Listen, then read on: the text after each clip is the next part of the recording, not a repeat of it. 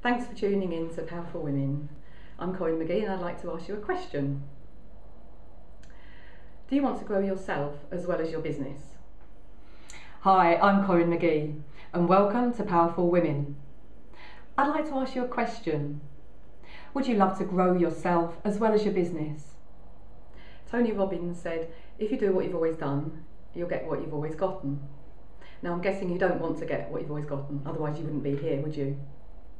Now Tony Robbins said, if you do what you've always done, you'll get what you've always gotten. Well, I'm guessing you don't want that, otherwise you wouldn't be here. It got me thinking about there are two types of people. There are players, they're on the field, they're going flat out for their goals. And there are spectators who are just sitting in the sidelines watching. Now, which one are you? And that got me thinking. People are either players, they're on the pitch, they're going flat out for their goals, or they're spectators, just sitting on the sidelines and watching. Which one are you?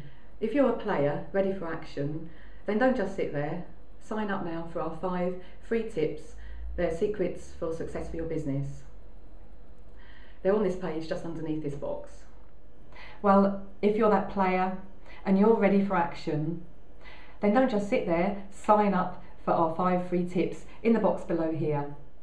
Have a look on the side at all the suggestions, the advice, and all the training that we've got that will help grow you and your business from start-up to established. And just have fun, keep in touch, follow me on Twitter, hope to see you soon. Have a look at all the advice, the support, and all the training that's here to help you.